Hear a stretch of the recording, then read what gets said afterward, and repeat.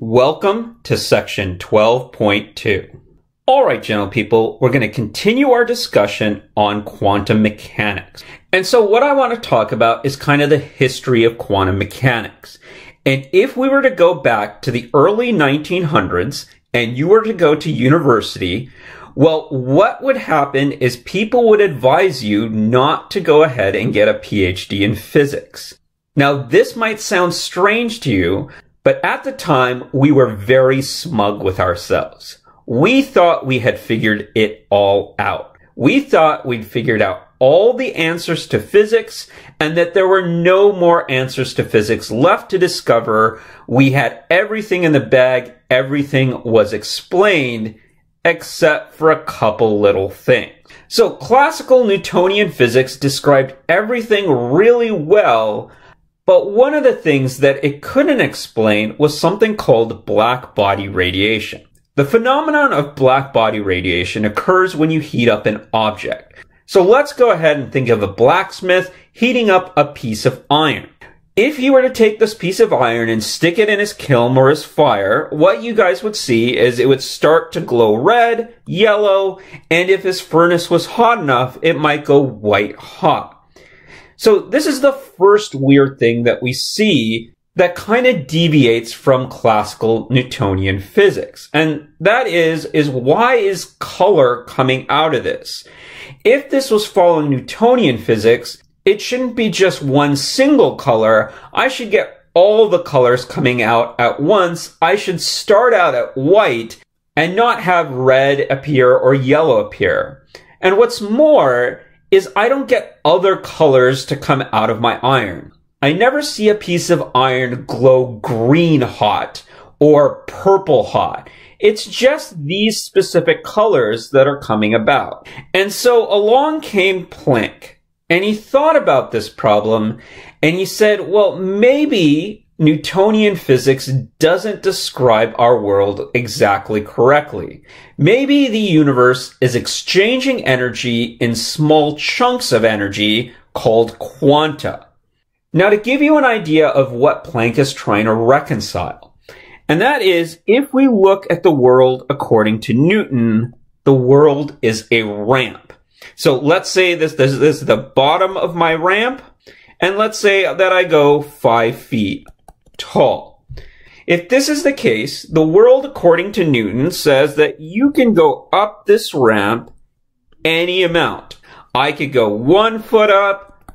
I can go 1.5 feet up. I can go 1.512 feet up and so on and so forth. There is a continuum of heights available to me. And as long as I exert enough force or energy, I can go up the respective amount up this ramp. Now, what Planck is trying to say is maybe the world isn't a ramp. Maybe our universe is a ladder. And what I mean by that is that if I want to travel up a ladder, well, I can only go up discrete sections in my ladder. I can go up one rung, two rungs, or three rungs. If I try to go up half a rung, I'm going to fail and I'll go back to the bottom. If I go up between two rungs, well, I'll fall back to my lowest rung. And the reason he's saying this is he's saying that all energy transfers can only occur using small packets of energy. So I can only go up if my packet of energy meets the distance between each rung in my ladder. And so this is what it means to be quantized. I can only go up certain packets of energy. So this kind of reconciled the black body problem and we get an equation out of this. What we say is that energy is equal to N times H times V. Now, n is going to be a whole number. This is going to be the number of packets that I am going to transfer. Now remember, I cannot transfer half a packet of energy. I can only transfer one, two, three, and so on and so forth. So this has to be a whole number. Now V here is going to be the frequency. So this is the equation to find the energy of light. And then h is going to be Planck's constant, and you guys will see this on your information sheet. Now, there was one other problem in the early 1900s that people were having trouble solving with classical Newtonian physics, and that was the photoelectric effect. And then a smart person came around, won the Nobel Prize for solving this problem. That person, Albert Einstein. Let's go ahead and explain the experiment behind the photoelectric effect and what important conclusion we get out of this. So here's the experimental setup. I'm going to go ahead and take a piece of metal. In this case, it's potassium metal. And I'm going to shine light on it with various colors or various energies of light.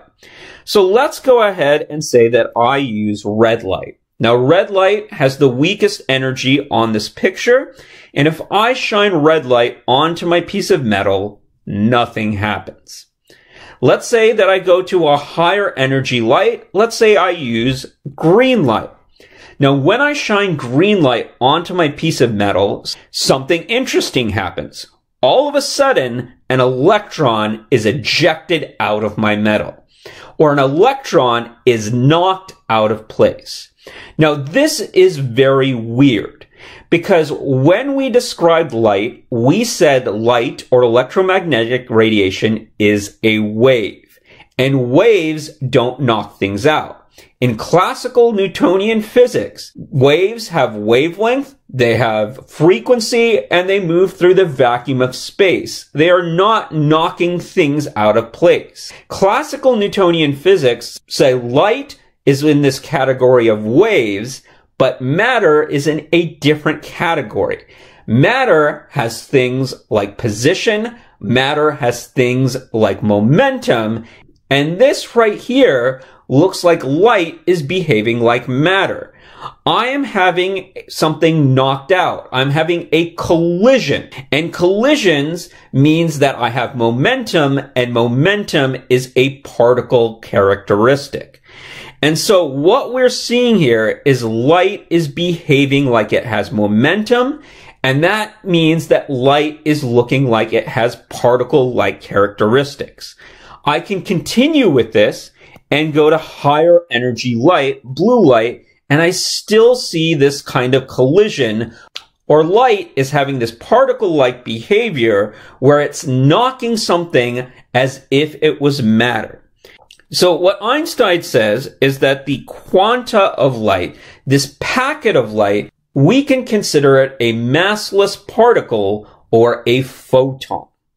And this was the big conclusion of the photoelectric effect. It is saying that light has this duality. In one way, it has wave-like properties, and in another way, light is behaving like a particle. This is a breakdown of Newtonian physics where these were two different entities. Now what Einstein is saying is no, it has both of these characteristics. And so you guys could see my ambigram here and you guys could have read it one of two ways. You could have read it as light is a P A R T I C L E. Light is a particle. Or you guys could have read this as light is a W A V E. Light is a wave. And so here's the big conclusion. Light is both a particle and wave at the same time. Now, combining Planck and Einstein's idea, we can go ahead and figure out Planck's constant. Now, the way to do that is we see that our electron is ejected out. And so that means it has kinetic energy. That means we can measure its kinetic energy by measuring its velocity, one half mv squared, but it also goes back to Planck's idea. And that is to get this ejection of light, I have to add a certain amount of energy. There's a threshold energy in which this electron can be ejected out, or I've met that criteria and moved up the ladder one rung. What we see here is the red light does not have enough energy to meet this threshold or go up one rung in that ladder. But the green light and the blue light do. And so what I get is I get the kinetic energy of the electron is equal to HV minus HV naught. Where HV naught is that threshold energy to knock or loose that electron out into space. Now what I can do is I can plot this on a graph. I can put kinetic energy on my y-axis, frequency or V on my x-axis. And then if I look at this equation, this is y equals mx plus b. And so what I'll notice is the slope of the line will equal Planck's constant. And this is one way that we get Planck's constant out. So with that said, let's go ahead and practice a quiz. I want to figure out what wavelength of light corresponds to this particular energy. Now I'm going to tell you here, I want this energy for one photon of light. All right, let's go ahead and start out with some equations. The first equation that I can put is that I know that frequency times the wavelength equals the speed of light. Now I could arrange this and say that the frequency of light equals the speed of light divided by the wavelength of light. And then I can look at the energy of light. The energy of light equals the number of packets I have or the number of photons I have times Planck's constant times the frequency of light. Now what I can do is I can combine these two equations. I'm going to substitute and what I get is that the energy of light equals nhc over lambda. Now I'm going to go ahead and rearrange my equation because I'm interested in the wavelength of light NHC over E. So let's go ahead and put on our values.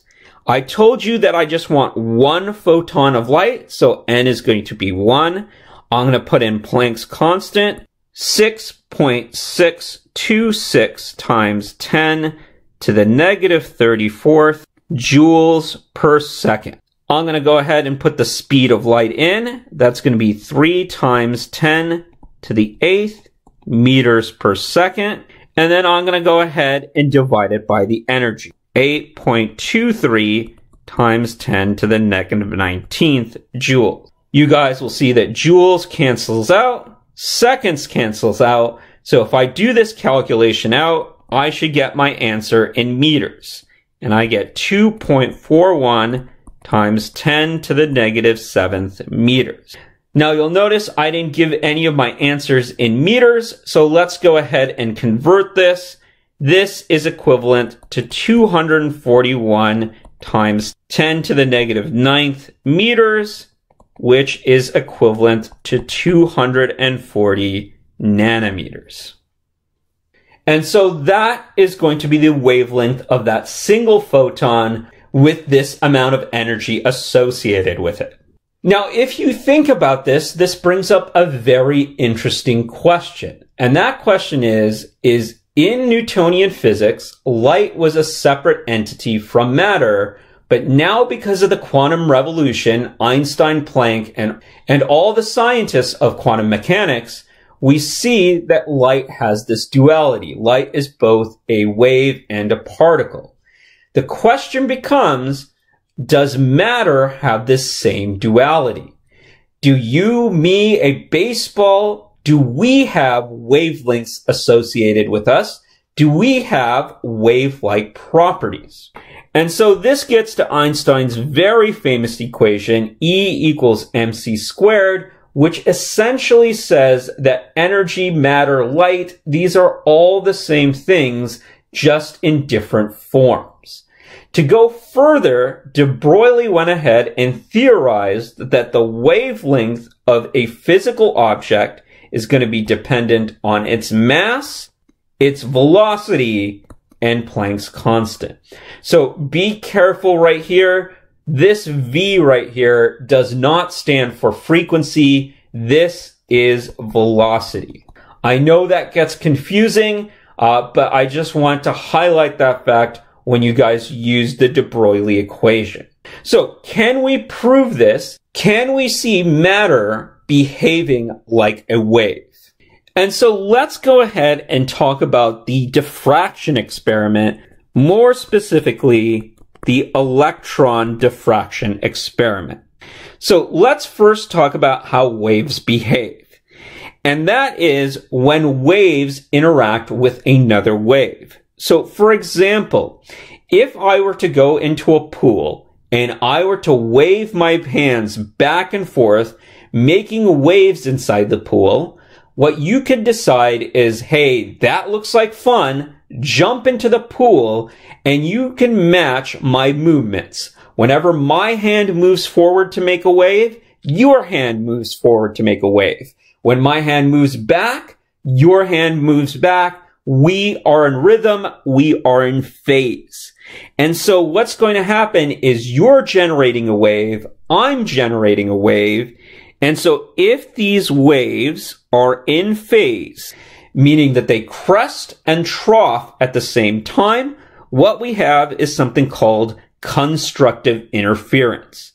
When I have constructive interference, the waves are going to combine and we're going to generate a much bigger wave. Now, let's say we do that same analogy. So I'm in the pool creating waves like so, and you come into the pool and decide to be a jerk and ruin my fun. And you are going to generate waves counter to my waves, meaning whenever my hand goes forward, your hand goes back. Whenever my hand goes back, your hand goes forward. So in essence, you are generating a wave that is completely out of phase, meaning whenever my wave crests, your wave troughs. When these two waves come together, what we have is destructive interference. What's going to happen is the waves are going to cancel each other out and they are going to destroy each other. And so this is the experiment that we can do with light and things that have wave-like properties. So what can happen is I can go ahead and think of two scenarios. If I go ahead and shoot things at a small hole, the thing will pass through that small hole and hit another wall here. And let's say that my detector is there. Now, what can happen is if I have purely particle-like behavior, I have my objects fly towards this wall with the small hole, and the particle goes right through, and it hits my detector in about one spot. So again, think of you throwing a baseball at a hole in the wall, and that hole allows the baseball to pass through. What you guys would see is that the baseball would hit another wall only in one spot. Now, if I have a wave and you guys can take a look at your lamps or a light bulb. And if I were to pass the light or the waves through a small opening, what you get is kind of this blooming effect. The light kind of goes and spreads in all directions and it doesn't just illuminate one spot. Now, if you are very careful, you can put a detector on the other side and what you get is something called a diffraction pattern. You get all these waves being generated, and these waves are going to constructively interfere with each other and destructively interfere. And so when they constructively interfere, I'm going to have bright spots on my detector. Now, when they destructively interfere, what I'm going to get are dark spots on my detector. And that's what a diffraction pattern is. You're seeing light and dark spots due to the constructive and destructive interference of light waves. Now, the picture that you guys see here is not of actual light. The picture that I'm showing you here is what happens when we shoot electrons at a small opening. When I shoot electrons at a small opening, what I get is a diffraction pattern and not this top scenario right here. And what that's saying to us is that this electron, an object that we thought of classically as matter, like you or me, has this diffraction pattern, meaning it has wave-like characteristics. And what the electron diffraction experiment shows, or the conclusion here, is that you, me, and things that Newtonian physics thought of as matter has a duality as well. We have wave-like characteristics. Alright, Chem 1A, I hope that made sense, and remember to stay safe.